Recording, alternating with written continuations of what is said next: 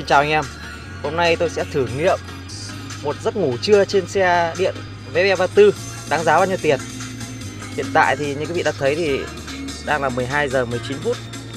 Và mức pin Mức pin của cái xe này là 93% Thì sau một giấc ngủ trưa, Khoảng một tiếng đi, Thì ờ, xem hết bao nhiêu phần trăm pin, Thì chúng ta sẽ đánh giá được cái giấc ngủ trưa ở xe VB34 thì sau ít phút nữa, mình sẽ sâu lại cái ờ, phần trăm pin sau giấc ngủ trưa nhá.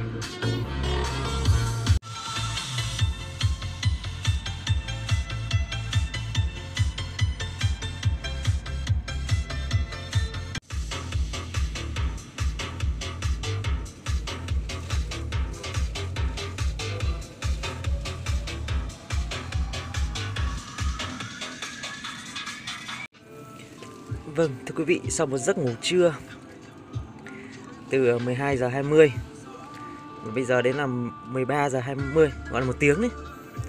Thì bây giờ phần trăm pin là còn 89%. Như vậy từ ờ, 93 đến 89 là 4% pin. Nhưng chiếc xe này sạc đầy ấy, 100% pin là 42 số điện. Như vậy tương đương mỗi phần trăm pin là 0,42 số thì vậy chúng ta hết ờ, uh, 4% pin. 4% mà nhân với lại 0,42 thì 4416 gọi là 1,6 1,6 số điện đi. Thì tính uh, hiện tại bây giờ tính gọi giá điện là 3.000 3.000 nhân với 1,6 số thì nó rơi vào tầm 4.800 như vậy ờ, uh, một giấc ngủ trưa trị giá 4.800 ở xe ô tô điện VB34 nha quý vị nhá điều hòa bật nhạc nghe và chỉ có mất 4.800 một giấc ngủ trưa đối với xe điện VF34 à, bởi vì à, xe này không di chuyển, nằm in nên là thuê bao thuê bao pin là hoàn toàn không đồng.